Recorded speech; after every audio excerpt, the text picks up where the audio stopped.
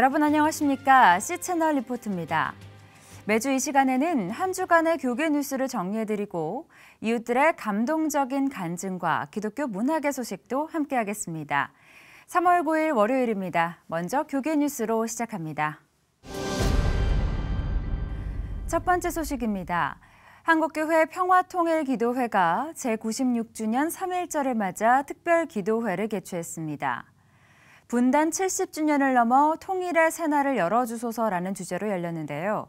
기도회에 참석한 교계 지도자들은 눈물의 기도로 통일을 이루자고 다짐했습니다. 유성원 기자가 보도합니다.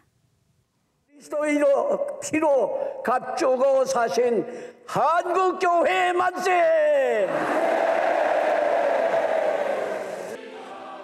대한민국과 한국교회 그리고 남북 통일을 위한 만세 삼창이 울려 퍼집니다. 기도회에 참석한 교계 지도자와 온 회중들은 태극기를 흔들며 96년 전 있었던 3.1운동의 감격을 고스란히 재현합니다. 평화통일을 위한 3.1절 한국교회 특별기도회가 3월 1일 저녁 명성교회에서 성도 만여 명이 참석한 가운데 진행됐습니다. 기도회 순서를 맡은 담당자 모두가 평화통일을 소망하며 임례 행진하고 애국가 제창과 개회 선언으로 본격적인 기도회가 시작됐습니다. 2부 기도회에서는 이영훈 목사와 오정현 목사가 각각 진리의 자유와 작은 자들이 갖는 통일의 꿈을 주제로 말씀을 전했습니다. 이영훈 목사는 진리 되신 예수님의 정신을 이어 소외된 이웃을 사랑하자고 강조했습니다. 참된 진리로 무장하여 우리가 믿음의 전쟁을 해나갈 때 장차 하나님께서 저 닫혀진 휴전선의 문을 여시고 남북 통일의 놀라운 은혜를 선물로 줄 믿습니다. 오정현 목사는 하나님은 적은 자로 천을 이루고 약한 자로 강국을 이루신다며 하나님의 시각을 회복하자고 말했습니다. 오늘날 세상에 많은 오염된 것으로 우리의 생각과 우리의 눈이 더러워져 있습니다. 하나님의 시각, 하나님의 눈이 다시 회복되어야 할 것입니다. 하나님은 적은 자, 약한 자를 통하여 일하시는 것입니다. 설교에 이어서는 평화통일 공동기도문을 시작으로 3.1 기독교운동 정신계승과 한일관계의 화해와 상생 등을 위한 기도와 3.1절 메시지 선포, 독립선언문 낭독을 진행하며 3.1절의 의미를 되새겼습니다. 전범들을 숭배하는 야스쿠니 신사 참배를 즉각 중단해야 하고 위안부 생존자들에게 사죄를 해야 하며 법조 배상에 나서야 한다. 한국교회 평화통일기도회 대표회장인 김삼환 목사는 한국 교회가 하나 되어 눈물로 기도할 때 하나님께서 반드시 통일을 이루어 주실 것이라며 더욱 기도에 힘쓰자고 전했습니다. 우리가 함께 모여 한국 교회가 이렇게 기도하고 계속 기도하고 눈물 많이 흘리면 하나님께서 통일의 날을 주실 줄로 믿습니다. 지난 1월 1일 파주 임진각에서 평화통일 신년 기도회를 시작으로 매주 월요일 통일을 위한 기도회를 진행하고 있는 한국교회 평화통일기도회는 이날 광복 70주년 대회를 위한 발대식을 열고 기도회 출범을 공식 선언했습니다. 한편 한국교회 평화통일기도회는 오는 8월 15일 광복 70주년 기념 연합기도회를 개최한다는 계획입니다. 올해 시작된 평화통일기도회를 통해 한국교회가 연합하는 것은 물론 독일 통일의 초석을 다진 라이프치히 기도운동의 역할을 하길 기대해 봅니다. C채널 뉴스 유성훈입니다. 한국교회 주요 연합단체들이 봉은사 영명 철회를 촉구하는 성명을 발표하는 등 봉은사 영명에 대한 논란이 커지고 있습니다. 한국교회는 봉은사 영명이 철회될 때까지 반대 운동을 펼쳐나가겠다는 강경한 입장을 표명했습니다. 최은원 기자의 보도입니다. 지난해 4월 서울시 지명위원회에서 9호선 929번의 이름으로 봉은사역이 최종 결정됐습니다. 이에 강남구 고구협의회는 친일 논란이 제기된 개인 사찰을 서울 도심의 중요 영명으로 정한 것에 대해 서울시의 종교 편향이라며 반발했습니다. 강남구 구구협의회는 봉은사혁명 사용금지 가처분 신청과 본안 소송을 제기하는 한편 영명 개정을 위한 100만 명 서명 운동을 전개하겠다고 밝히며 본격적인 반대 활동에 나섰습니다. 친일의 본산지인 봉은사를 사찰 이름을 영명으로 한다. 비상식적인 거죠. 정서에 안 맞고 역사에 안 맞는 거죠. 다른 모든 어, 국민 단체들도 함께 모아서 우리가 그런 그 어, 발대식을 시작할 겁니다. 여기에 한국교회 대표 연합기구인 한국교회연합과 한국기독교총연합회도 강남구 교구협의회의 반대 운동에 힘을 실어주겠다는 공식 입장을 표명했습니다. 서울시가 다음 달 28일 개통되는 서울 지하철 9호선 2단계 구간 929 정거장 명칭을 봉은사역으로 확정한 것은 행정 원칙과 시민 정서를 무시한 잘못된 결정이므로 즉각 철회할 것을 요구한다. 하지만 봉은사혁명을 둘러싼 기독교계의 행보가 종교 갈등으로 비치는 데 대해서는 특정 종교라서 반대하는 것이 아니라고 못 박았습니다. 이것은 객관 타당성을 놓고 얘기하는 것이지 에, 이것이 어떠한 그 특별한 종교의 사찰 이름이 됐다고 반대하는 것은 아닙니다. 4일로 예정됐던 한교연의 서울시장 항의 방문은 서울시 측의 일정 문제로 무산됐지만 한교연은 향후 청지기 교회를 모집해 이들 교회들과 봉은사 등 한국교회 현안들에 대해 함께 대응해 나가겠다는 계획입니다. 한편 지난 3일 한 포토 사이트에서는 봉은사역과 코엑스역을 두고 누리꾼들의 의견을 묻는 투표가 진행됐습니다. 투표에는 116만여 명이 참여했으며 명명을 코엑스역으로 해야 한다는 응답이 55%, 봉은사역으로 해야 한다는 응답은 45%로 집계돼 코엑스역에 대한 누리꾼들의 선호도가 더 높은 것으로 나타났습니다. 한국교회가 봉은사 역명에 대해 강경한 행보를 예고하면서 서울 지하철 9호선 929번 구간을 둘러싼 파장은 한동안 계속될 것으로 보입니다. 시채널 뉴스 최은원입니다. 35년 동안 한결같이 특별 새벽 집회를 통해 은혜를 경험하고 있는 명성교회가 구름기둥, 불기둥을 주제로 3월 특별 새벽 집회를 시작했습니다. 유성원 기자가 보도합니다. 많은 사람들이 잠든 고요한 새벽, 명성교회 3월 특별 새벽 집회가 짙은 어둠을 걷어냅니다. 특별 새벽 집회 첫째 날, 일찍 나와 은혜 받기 위해 성도들이 성전 문이 열리길 기다립니다. 예배 시간이 다가오자 수많은 성도들이 발걸음을 재촉합니다. 다소 쌀쌀한 날씨지만 엄마 손을 꼭 붙잡고 성전을 찾는 아이들도 눈에 띕니다. 특별 새벽 집회에 참석한 가족들은 개근을 목표로 열심히 기도하며 하나님이 주시는 은혜를 누리기 원합니다. 올해 그 저희 가족의 그 건강이랑 그리고 저희 가족들 이제 사는 일들이 다 하나님 안에서 잘 되었으면 좋겠고 특별히 이제 큰 아이가 이제 초등학교에 들어가는데 학교 생활을 잘 그 하나님 안에서 할 수 있었으면 좋겠습니다. 은혜의 절기 특별 새벽 집회를 사모하는 만여 명의 성도들이 예배당을 가득 메운 가운데 강단 주변은 200여 명의 어린이들이 차지했습니다. 3월 특별 새벽 집회 첫날 특수는 명성교회 교사와 학생 2,500명이 함께한 연합 찬양대가 찬양으로 하나님께 영광 돌렸습니다. 특별 새벽 집회를 인도한 김사만 목사는 출애굽기 13장 21절과 22절 말씀을 통해 이스라엘 백성을 광야에서 인도하신 하나님께서 구름 기둥 불 기둥으로 약속의 땅 가나안까지 한결같은 은혜로 인도하셨다며 인간의 가장 큰 축복은 하나님을 가까이 하는 것이라고 강조했습니다. 오늘 또 살아계신 하나님께서 지난 35년을 구름교동 불교동으로 우리를 인도하여 주셨고 앞으로도 세상 끝날까지 우리와 함께 하실 줄 믿으며 우리 모두 함께 앞으로 약속의 땅으로 적과 꿀이 흐르는 땅으로 나아가십시다.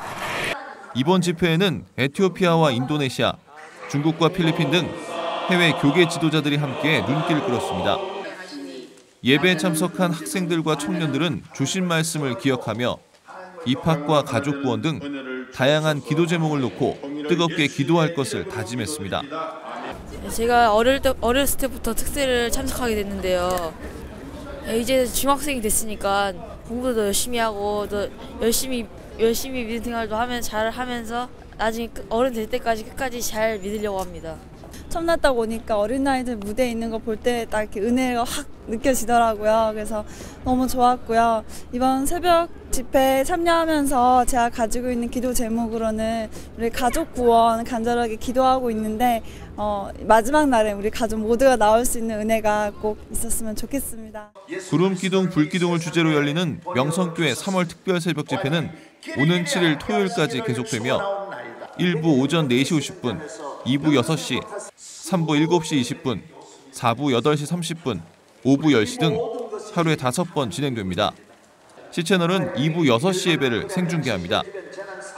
지난 35년 동안 새벽을 깨우며 한국교회에 영적 영향력을 끼친 특별 새벽 집회가 광복 70주년을 맞는 올해 통일의 물꼬를 트는 은혜의 시간이 되길 기대해 봅니다. C채널 뉴스 유성훈입니다. 기독교 대한감리회 장로회 전국연합회가 제19회 정기총회를 열고 신임 회장으로 최광혁 장로를 추대했습니다. 최광혁 신임 회장은 한 단계 발전하는 장로회 전국연합회를 만들어가겠다며 포부를 밝혔습니다. 최은원 기자의 보도입니다. 전국 감리교회 소속 장로들의 연합기구인 기독교 대한감리회 장로회 전국연합회는 제19회 정기총회를 열고 창립 20주년을 준비하는 새로운 지도부를 구성했습니다. 총회에 앞서 열린 개회 예배에는 기감 전용재 감독회장이 참석해 쓰임받는 장로라는 주제로 말씀을 전했습니다. 전 감독은 평신도에게 본이 되는 장로들이 태평양과 같은 마음으로 공동체를 이해하고 배려해야 한다고 권면했습니다. 오늘 우리 장로님들도 그런 귀한 넉넉한 장로님으로서 하나님 앞에 쓰임 받고 우리 기독교 대한 감리회를 더 아름답게 세워가는 그런 장로로서의 사역을 감당해 주시기를 주님의 이름으로 축복하고 권면합니다. 이번 회장 선거에는 서울연회 소속 최광혁 장로가 단일 후보로 등록하면서 연합회의 정관에 따라 무투표 당선이 확정됐습니다.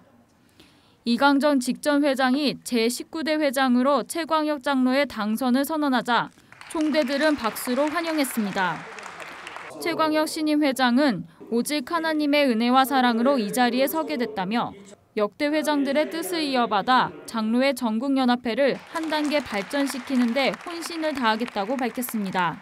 하나님께서는 연약하고 쓸모없는 저 같은 사람도 당신의 도구로 쓰시기를 원한다는 사실에 감사하고 장로회 전국연합회를 한 단계 더 발전시키는 데 혼신을 다하겠습니다. 한편 이번 총회에는 올해부터 새로 신설된 감리교회를 빛낸 자랑스러운 장로대상 시상식이 진행됐습니다. 기감 장로회 전국연합회는 감리교단의 성장에 기여한 공로를 치하하고자 장로대상을 제정했다고 밝혔으며 첫 대상자는 진관교회 임성희 장로와 대림교회 장호성 장로가 선정돼 수상의 영예를 안았습니다. 시채널 뉴스 최은원입니다. 2015 새벽기도 목회자 국제 컨퍼런스가 우리를 일으키소서를 주제로 열렸습니다. 명성교회 목회 철학을 듣기 위해 5천여 명의 참석자들이 모였다고 하는데요. 정희민 기자가 보도합니다. 새벽 기도를 부흥의 발판으로 삼은 명성교회의 목회 철학을 전하는 새벽 기도 목회자 국제 컨퍼런스. 올해로 6회째를 맞아 지난 5일부터 이틀간 열렸습니다. 우리를 일으키소서를 주제로 열린 이번 컨퍼런스에는 전국 각 지역의 목회자와 사모 등 5천여 명이 모였습니다. 이들은 새벽 기도의 대표 모델로 손꼽히는 명성교회의 목회 철학을 듣고 영성을 회복하고자 참석했습니다.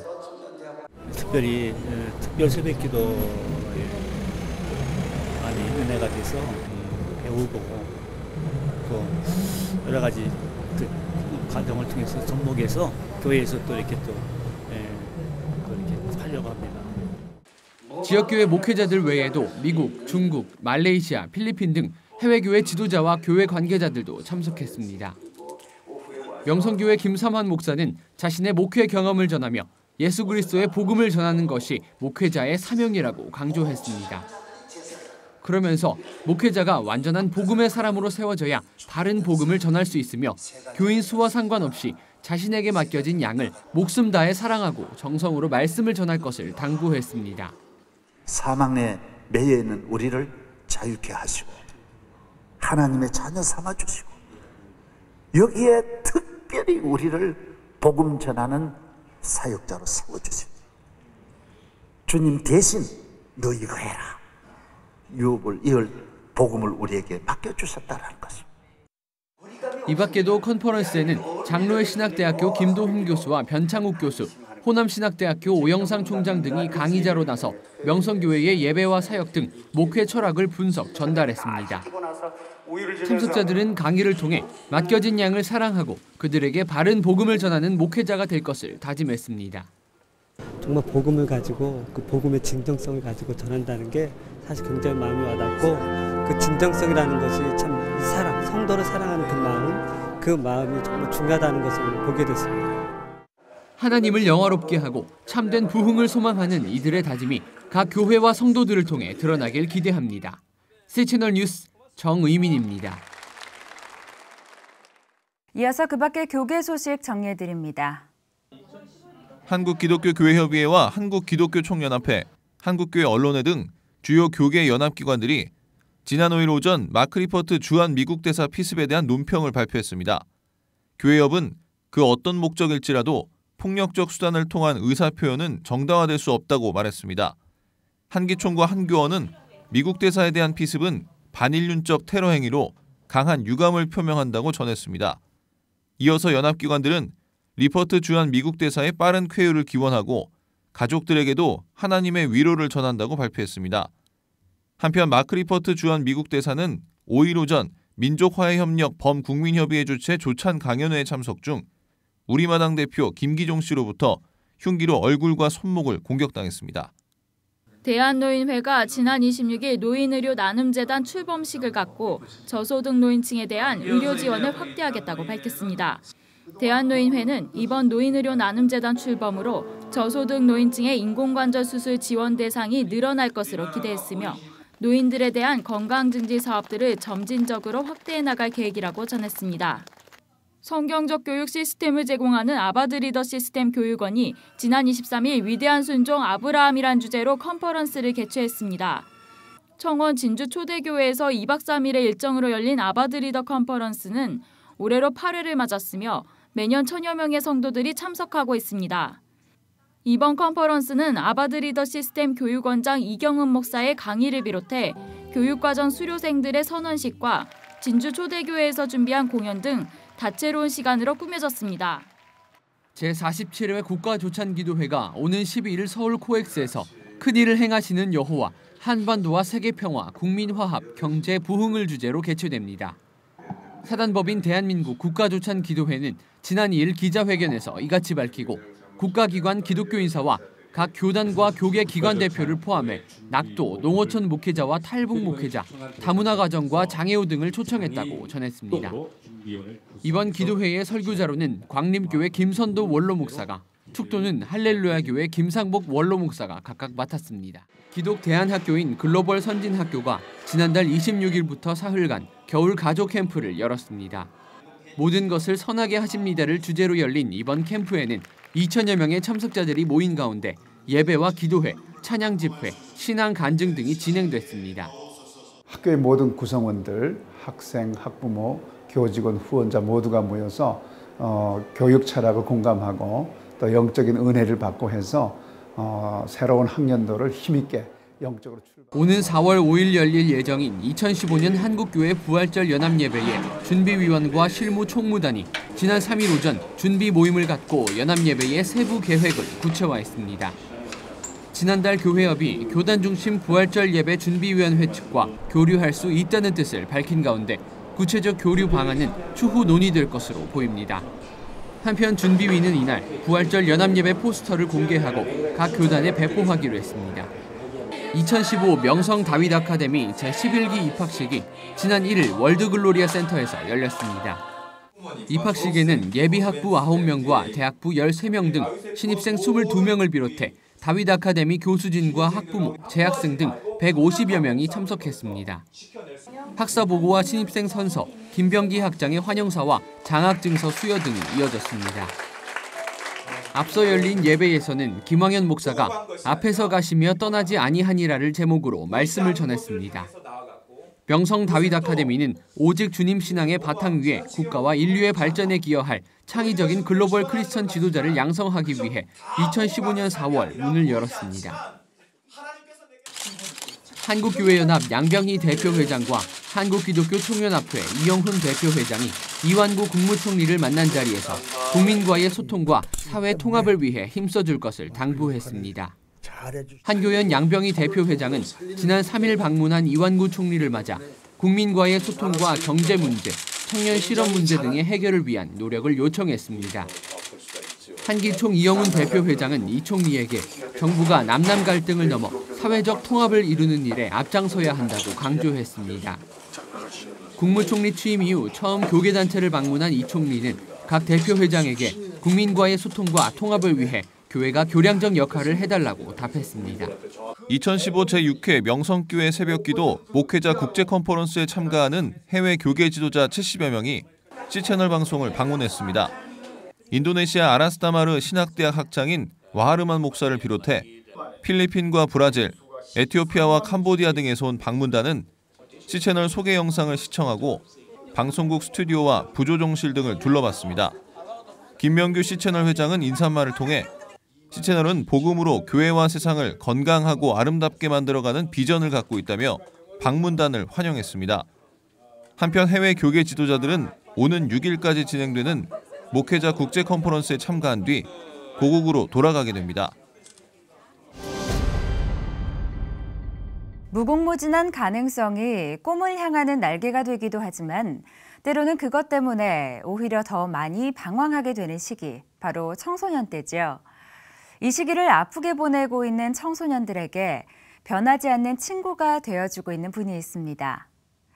10대들의 쪽지를 처음 만들었던 남편의 뜻을 이어 현재 대표를 맡고 있는 강금주 씨가 그 주인공인데요. 10대들의 쪽지가 전하는 마음 따뜻한 이야기 지금부터 전해드리겠습니다. 하루도 빼놓지 않고 10대들의 이야기를 듣고 읽고 쓰고 말하는 강금주 대표. 마음속에서 가장 원하는 거는 괜찮아 아직도 너, 넌 지금 오늘부터 다시 바꾸면 돼 너한테도 희망이 있어 너도 잘하고 싶지 이거를 듣고 싶은 거거든요 그래서 저는 아무리 상황이 바뀌고 시대가 바뀌고 아이들의 문제가 복잡해졌다고 해도 10대가 근본적으로 마음에서 그 가지고 있는 나는 누구인가에 대한 답을 진심으로 믿고 해줄 수 있으면 아이들은 충분히 어, 해답을 찾을 수 있고 또 길을 찾고 아이들이 바뀌거든요. 그래서 그 점이 10대들의 위대한 점인 것 같아요. 그런 위대한 10대들을 만나는 것이 이젠 강금주 대표의 위대한 일상이 됐습니다.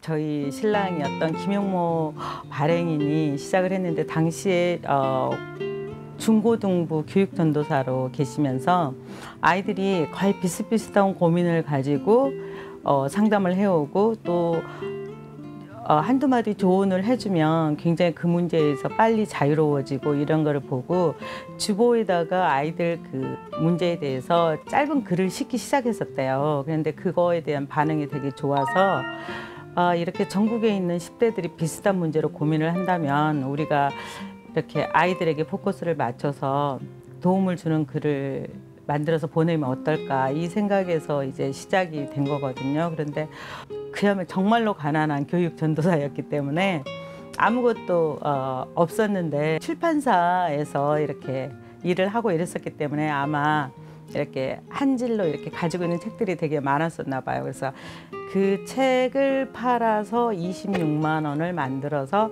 10대들의 쪽지 5천 부가 최초로 나왔어요. 그동안에 한 두 번 정도는 한 두세 달 멈췄거든요. 그래서 이제 이번 5호로가 어, 300호가 되는 거예요. 먹고 살기도 빠듯했던 시절. 26만 원이라는 전 재산을 들여 만들고 전국 방방곡곡을 찾아갔던 10대들의 쪽지. 10대들의 쪽지와 기억되는 모든 일은 한마디로 말하면 그건 사랑이었습니다. 어, 본인이 그 제가 전라도에 있었는데 어, 광주에 그 학교에 강연을 가게 됐는데 어, 임신한 여고생이 2학년이 편지를 해왔는데 그 여고생을 데리고 어, 병원을 가야 되는데 총각이 혼자서 갈 수 없으니까 여고 교사로서 같이 동행해 줄 수 있겠냐. 대신 그 여학생에게 편지를 쓰면서는 제3자가 안다는 거에 대해서 좀 그렇잖아요. 그러니까 어, 김용모 발행인이 우리가 결혼할 사람이라고 결혼할 사이라고 말을 해달라 그 여학생한테 편지에다가 그래서 저는 그때 이제 그게 두 번째 편지였는데 또 시키는 대로 열심히 그렇게 써서 보냈어요. 그리고 어, 한한 달 후에쯤 실제로 광주에서 이제 그 여학생하고 삼자 대면을 했어요. 세 명이서 모여가지고 그 여학생을 데리고 산부인과까지 갔었죠. 그게 어, 처음 만남이었고, 네, 6개월 후에 결혼했어요. 일곱 번째가 결혼식장이었어요. 몇 번 만난 적도 없었던 그들이 결혼할 수 있었던 건 진심이 담긴 여섯 번의 편지. 그게 다였습니다. 그러나 그 사랑을 더 이상 느낄 수 없게 된 남편과의 사별. 갑자기 아빠가 안 계신 삶, 남편이 없는 생활 속으로 딱 세 명이 들어왔는데 어떻게 해야 될지를 모르겠는 거예요. 그러니까 아무것도 없는 상태에서 그래서 어, 그때 생각한 게 일단 예배를 드리러 가자. 음, 막연히 그 생각은 있었던 것 같아요. 어쩌면 예배를 드리러 가면 그 예배 시간에 어쩌면 답이 있을지도 몰라 라는 생각을 해서 저희 애들하고 아들이 운전을 하고 해서 대구까지 운전을 해서 갔었어요. 그래서 어, 예배 드리고 올라오면 저희 애들은 저희 아들도 운전을 해야 되니까 싫죠. 그런데 엄마가 유일하게 일어나서 뭐를 하자라는 말이 그 말밖에 없거든요. 그리고 엄마가 정신을 그래도 집중하고 있는 시간이 그 시간이거든요.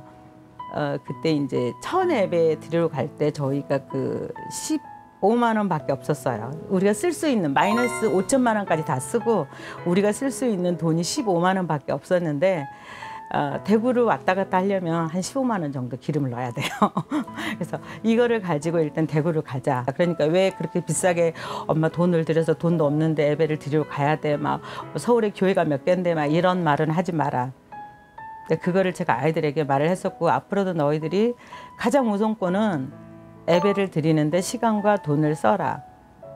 근데 그거 하나를 지키니까 다른 것들이 조금씩 정리가 되기 시작했던 것 같아요. 퍼즐처럼 조금씩 조금씩 맞춰지기 시작하면서 지금은 거의 정상으로 돌아왔지 않나 싶어요. 이 생활하고 이렇게 사는 게 저희 신랑이 12월 16일 날 돌아가셨죠. 엄마가 아빠하고 결혼을 할 때 이 일을 돕기 위해서 결혼을 했고 그리고 여태까지 우리가 아빠 사랑을 받았고 아빠가 우리를 support를 해줬으니까 이제는 아빠가 안 계시니까 엄마가 와서 이 일을 엄마 살았을 때까지는 해야 되는 게 너무 당연하게 생각을 했었고 저희 애들도 그러면 엄마가 해야죠 라고 너무 당연하게 생각을 했었어요. 음, 당연하게 생각은 했었지만 그렇다고 모든 조건이 갖추어진 거는 전혀 아니었어요. 그런데 그냥 그 믿음은 있었던 것 같아요. 23년 동안 10대들의 쪽지를 김영모를 통해서 일을 하신 하나님이라면 10대들의 쪽지가 계속 발행된다면 꼭 김영모가 아니고 우리가 한다고 해도 아마 하나님이 23년 도우셨듯이 앞으로도 도우실 거다. 그러면 나중에 여건이 안 되고 하나님이 길을 막으시면 그때 가서 그만둬도 되고 지금은 일단 우리가 이렇게 세 명이 다 쪽지는 당연히 해야 되는 일이라고 생각하면 하자 해서 음, 지금까지 계속되고 있는 것 같아요. 선한 일에 지혜롭고 악한 일에 미련했던 사람들. 아프다고 소리치는 아이들의 이야기를 한 번이라도 더 들어주기 위해 10대들의 쪽지는 쉼없이 달려왔습니다. 어쨌든 말씀을 통해서 제가 음, 모든 문제의 답을 찾기를 원하고 그리고 진짜로 말씀을 제대로 알고 싶어요. 그게 이제 어, 저의 지금 현재 가장 큰 목적이고 그리고 이제 10대들의 쪽지는 이제 여태까지는 저희가 그냥 이렇게 아이들에게 줬는데 어떻게 하면 아이들에게 직접 정말로 아이들이 읽을 수 있는 직접 도움이 되는 글을 쓸 수 있을까 하고 소수에게 가더라도 바르게 그냥 말씀에 근거해서 이제는 말씀을 많이 이 안에다가 넣어서 읽는 아이들이라도 제대로 어, 도움을 받을 수 있는 게 낫지 않느냐 그 방법을 생각을 해서 이제는 좀 더 어, 짧게 짧게라도 말씀을 전하는 도구로 써야 되겠다라는 게 이제 저의 기도 제목이고요. 10대들의 쪽지에서 숱하게 전한 사랑의 결론은 결국 그리스도와의 만남이기에 10대들의 쪽지가 말씀을 담는 그릇으로 전국의 청소년을 찾아가는 그날까지 강금주 대표의 즐거운 몰두는 앞으로도 계속될 것입니다. 흔히 인생을 마라톤에 비유하곤 하죠. 끝없이 뛰어야 하고 또 자신이 스스로를 넘어서야 하는 것이 서로 참 닮았는데요. 이 마라톤을 직접 무대 위로 가져온 연극이 있습니다. 바로 다시 뛴다라는 작품인데요. 지금부터 제가 안내해 드리겠습니다. 우리네 인생은 종종 마라톤에 비유되기도 합니다. 끊임없이 뛰어야 하고 인내해야 하고 무엇보다 자신과의 싸움을 이겨내야 하기 때문이죠. 바로 그 인생을 꼭 닮은 마라톤을 무대 위로 옮긴 연극 한 편이 있습니다. 전격 마라톤 연극입니다. 실제로 이제 마라톤을 뛰는 등장 인물들이 등장을 해서 그 인물들이 마라톤을 뛰는데 각자 그 마라톤을 뛰는 사연이 있어요. 어떤 그 각자의 사연들을 마라톤을 뛰면서 자기의 사연들을 들려주고 그리고 왜 그들이 마라톤을 뛸 수밖에 없는지 이제 그런 것들을 어 약간의 재미와 어떤 웃음, 감동 또 이제 이 사람들의 사연 이런 것들을 들려주면서 보여주는 연극입니다. 비운의 국가대표 만년 후보 민혁, 구급 공무원을 꿈꾸는 철우, 어두운 과거를 내려놓고 새 삶을 시작하려는 동찬, 파란만장 얼음마녀 수희, 3년 만에 집 밖으로 나온 세은, 그리고 여고생 다빈까지. 연극 다시 뛴다는 저마다 개성이 넘치는 여섯 명의 주인공들이 마라톤 대회에 참여하면서 시작됩니다. 여자들 저기서 옷 갈아입으면 되는 거예요? 네. 감사합니다. 네. 근데 패션이 되게 멋있으세요. 예? 그냥 멋있다고요. 네. 주인공들은 저마다 다른 이유를 가지고 마라톤 대회에 참여하는데요. 시간이 지나면서 함께 내 옆을 달리는 동료에게 자신의 마음 깊은 곳의 이야기를 꺼내듭니다. 상처와 눈물, 아픔이 가득한 그 이야기를 말이죠. 참아야지 참아야지 하면서 계속 견뎌왔던 인물이에요. 그러다가 마라톤에 와서 낯선 사람들에게 자기가 힘들게 살아온 과정을 처음으로 얘기하게 되거든요. 저도 공연을 하면서 관객들을 만날 때 관객들을 위로해주는 배우가 되고 싶다는 생각을 많이 했었는데 세은이라는 역할이 그런 부분에 맞는 것 같아서 선택을 하게 됐어요. 저마다 뛰는 이유도 지나온 삶도 달랐지만 42.19km라는 기나긴 마라톤 코스를 뛰며 이들은 서로의 인생을 이해하고 그와 동시에 자신의 삶을 돌아보게 되는데요. 그러면서 인생의 화려한 순간도 또 어둠의 긴 터널의 시간도 지나고 난 후에 돌아보면 가장 중요한 것은 지금 이 순간 뜨겁게 내 인생을 살아내는 것이라는 깨달음을 얻게 됩니다. 왜 마라톤을 뛰는 사람들은 마라톤을 그 계속 끊임없이 쉬지 않고 마라톤을 뛸까? 그리고 마라톤이라는 게 그냥 뛴다고 해서 뛰는 게 아니더라고요. 마라톤을 뛰기 위해서는 또 다른 준비를 해야 되더라고요. 그러면 아, 그리고 이제 그네들이 이제 마라톤을 뛰고 난 다음에 성취한 어떤 그 감동이 있더라고요. 해냈다라는 어떤 감동. 그러니까 어떻게 보면 이제 산다라는 게 이런 마라톤을 뛰는 과정이 아닐까. 그리고 어떤 목표, 어떤 자기 인생의 어떤 뜻을 이루기 위해서 짧은 호흡이 아니라 긴 호흡으로 준비하고 그 긴 호흡을 성취하기 위해서 끊임없이 준비하는 그 과정이 이제 마라톤인데 그러면 이것을 하나의 드라마로 만들어서 보여드리면 관객들이 많은 힘을 받을 수 있지 않을까 이제 이런 취지에서 준비를 했었습니다. 다시 뛴다는 실제로 배우들이 무대 위에서 마라톤을 뛰며 연기를 한다는 특징이 있는데요. 처음에는 뛰는 방법을 잘 몰라 무릎이 다치는 경우도 많았다고 합니다. 그러다 마치 인생에서 시행착오를 겪으며 성장하듯 점차 뛰는 방법을 알게 돼 어려움을 극복한 에피소드도 있었다고 하네요. 계속 뛰면서 하다 보니까 그리고 저희가 무대가 많지 않고 조명 안에서 그 조명 저 안에서 많이 이루어지거든요. 그러다 보니까 처음 그렇게 해봐서 감정적인 연기를 할 때도 계속 뛰면서 하니까 그 조명 찾는 것도 어렵고 그 안에서 감정을 놓치지 않는 부분도 어려웠어요. 근데 하다 보니까 어, 찾아지더라고요. 그래서 뛰면서 하면 사람들이 숨이 자연스럽게 나오잖아요. 그러니까 연기적으로 되게 많이 도움이 됐던 것 같아요. 인생에는 때로 좌절하거나 실패하는 시간들이 찾아오죠. 그럴 때 우리는 그 자리에서 오랜 시간 주저앉아 있기도 합니다. 하지만 중요한 것은 다시 일어나는 것이라고 다시 뛴다는 우리에게 말하고 있습니다. 많은 사람들이 어떤 시기나 어떤 시절에 대해서 실패하면 그 실패에 대한 상처나 그 이걸로 많이 오랜 기간 동안 좌절하더라고요. 어떻게 보면 인생이라는 큰 시간 안에서 그 실패는 어떻게 보면 이제 한 번에 짧은 달리기에 불과했던 건데 그걸 가지고 평가할 수 없는 거 아닙니까? 그럼 어느 구간은 내가 짧게 뛰고 어느 구간은 좀 잘 못 뛰었다 하더라도 다시 용기 내고 일어서서 끝까지 뛰면 되는 거지 않습니까? 그 조금 느릴지라도 뛰는 것만 멈추지 않으면 끝에 도달할 수 있어라는 게 저희 연극에 나오는 이제 대사입니다. 그, 그 대사처럼 조금 느릴지라도 각자의 자리를 믿고 꿈을 믿고 끊임없이 부단히 이렇게 뛰면 마라톤 결승점에 도달하는 것처럼 순위가 중요한 게 아니지 않습니까? 완주가 중요한 거기 때문에 모두가 다 각자의 자리에서 완주했으면 하는 마음에서 연극을 즐겼으면 좋겠습니다.